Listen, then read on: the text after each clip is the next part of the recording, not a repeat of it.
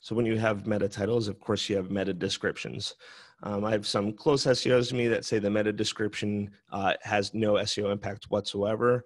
Um, I believe that it's marginal, but the most important part of it is definitely for click throughs when people are seeing the descriptions of pages when they're doing SERPs. So, you know, when you do a search, um, we want to break this down real quick. Let's actually do a search.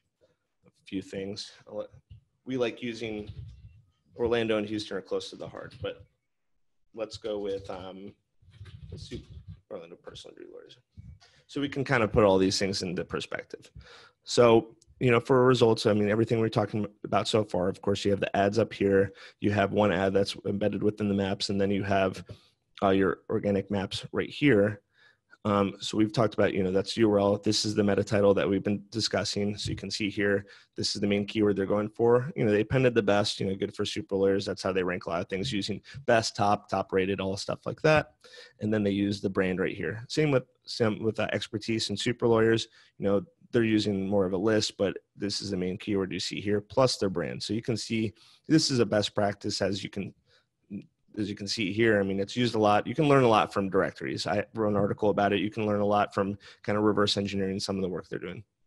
So we have the title here. You can see they're certainly taking advantage of how long the descriptions can be nowadays. So, you know, before it used to be maybe like 70 or 80 characters. I think it's as many as 140 and a lot of people um, technically um, haven't taken advantage of it as much as they could. Um, in this situation, once once the results get a little bit um, further down in the results, it might get cut off um, out of just um, the sake of there being space. So I'm sure you've seen from some results that the top ones tend to get as much real estate as like as they want essentially, and then once you get a little bit lower down down here at tends to uh, taper off a little bit more and you can see these getting cut off but you can see that these are available and that's why you know this is here. As far as this being cut off um, this is an interesting one results 125 69 i probably have to see what that's all about but um, yeah description is um, you know best practice here